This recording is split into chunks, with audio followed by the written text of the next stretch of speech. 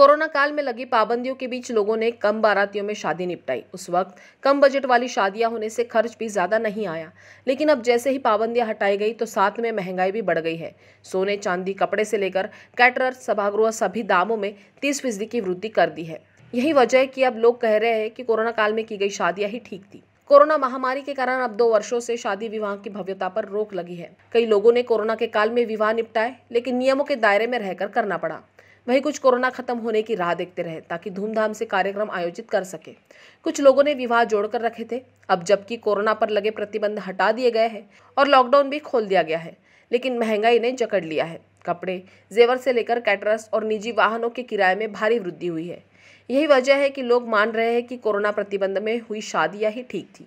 दीपावली के बाद से शादियों की रस्में शुरू हो गई है, लेकिन विभिन्न खाद्य पदार्थों तेल, पेट्रोल, डीजल, सब्जियों, अनाज आदि की कीमतों में बड़े पैमाने पर वृद्धि हुई है।